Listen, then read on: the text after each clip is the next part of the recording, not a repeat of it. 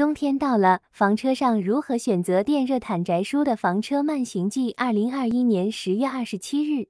朋友们，大家好啊，好久不见啊，好长时间没有更新了。嗯，那么天气越来越凉了啊，呃，很多朋友就觉得车上应该有一些过冬的一些装备啊。那么首当其冲的就应该是电热毯。电热毯呢，我曾经说过啊，这个用处还是挺多的。啊，不光光是简单的这个冬天御寒，有时候夏天也要用到啊。为什么夏天也要用到？因为有的时候夏天呀，房车在一些比较潮湿的地方，它的这个湿度、空气湿度特别大，那么电热毯呢，可以把这个被子里的潮气给它烘走啊。而且我经过我本人的亲自试用呢，还是很很有效的，尤其是这个。你在比如说在庐山这种地方啊，或者说在一些其他的地方，它湿气特别重的地方，可以把电热毯打开，好好的把这个床上的这个湿气给烘一烘。好，那么在冬天的时候呢，电热毯就不说了啊，因为咱们知道它是起到一个保暖的作用啊，尤其是睡觉的时候。那么电热毯买什么样子的呢？啊，有的朋友说啊，买这个家用的。有的朋友说呢，买这种车用十二伏的，啊，其实呢都可以啊，呃，就看你车上用哪种电比较方便。也现在有很多房车呀，车上都不备这种直流插座了，直接就是二百二十伏啊。但是还是有很多房车还是有这种直流插座的。那么我本人呢，嗯，直流插座也有啊，交流插座也有啊，都可以用。首先我们看电热毯的功率啊，一般功率都不大啊，几十瓦。如果说在这个四十到六十瓦之间啊，或者说四十瓦到七十瓦之间，那不管你是用直流还是交流都没有问题啊。咱们可以计算一下，如果你的这个功率是六十瓦的这个电热毯，呃，在车上用的话，十二伏的系统，理论上来讲，它的电流就五安左右。那么五安呢，呃，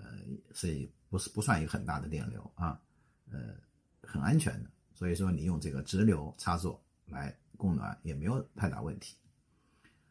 呃，那么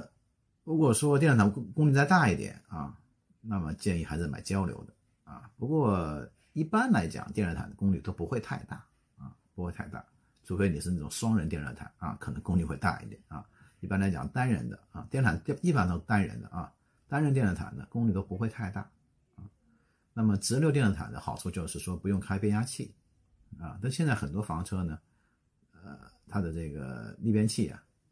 啊，刚才我说的逆变器啊，逆变器啊是常开着的啊，有一些有些房车的逆变器是常开的，呃，那么就不存在这个问题啊，交流直流都行啊，那么你你买这个交流的电热毯呢，那也没什么没什么问题啊，但要注意一点啊，一定要人走电热毯要关掉啊，就是你如果说长期不在车上面，电热毯记得要关掉啊，因为有些。可能会有一些意外的发生啊！当然了，你要买一些质量有保证电热毯啊，不要贪图便宜。呃，尤其是在车上用的东西啊，一定要买贵一点的啊，不要贪图便宜啊，买什么杂牌啊，一定要买那种销量大、质量有保证的、价格高一点的啊。一般来讲，一分价钱一分货啊，呃，千万不要图便宜啊，买就买一个好一点的啊，有这种三 C 认证的。包括它的用料各方面让人踏实啊，这样的话呢，呃，安全方面有一定保障啊，不会造成火灾什么的啊。这是电热毯的一个一个采购的一个选择啊。呃，依我来看，家用和车用都行啊，看你车上的这个电力系统是什么一个情况啊，都没有什么太大的顾虑。呃，这个。